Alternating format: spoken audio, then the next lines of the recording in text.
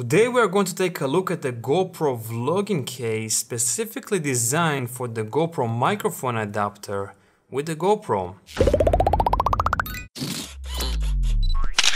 So first of all, let me tell you how happy I am that someone finally designed something like this. It was such a hassle to try to glue the GoPro microphone adapter on this type of a case. It was always moving, interfering with something in my case was interfering with the record button and when I wanted to replace the GoPro battery I would need to remove the GoPro microphone adapter, open this case, do everything again and it was really really annoying. Now that we have something like this, it's gonna make everything so much easier, looks better and it just really awesome, so convenient. So let's take a look how well it's built and how you actually set it up. So I'm gonna undo my microphone. This is the Saramonic SRXM1. Take out the GoPro microphone adapter. And by the way, if you are wondering if the microphone adapter is sitting really tight in there, it is. It's not moving at all, not dingling. You actually need to put some pressure if you want to take it out, which is really good in my personal opinion.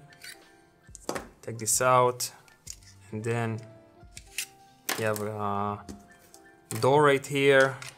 Take off the GoPro and this is the case.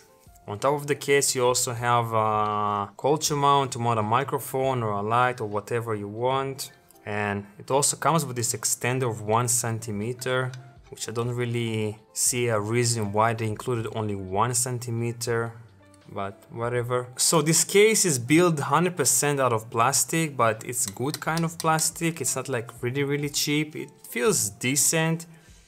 I really wish it was a aluminum like this, but I guess we can't have everything, right? So for the meantime, until maybe someone else will design something like this, with this build quality, we'll use something like this.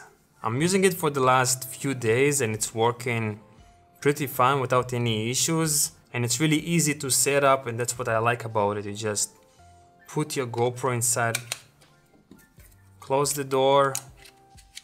You don't need to go to the hardware store, buy nails, buy stickers, buy whatever, drills. You just you just have everything already. Put the microphone adapter plug it in like that put the microphone and you're good to vlog easy as that with this one you would need a lot of patience and engineering in order to find a place where to mount this microphone adapter. So the case looks pretty good, a little bit cheaply made, but I guess we can have everything like I said. I'm gonna leave some links down below if you wanna go and purchase it. And if you have some questions, comments, also let me know down below. And I will see you in the next one. Peace out.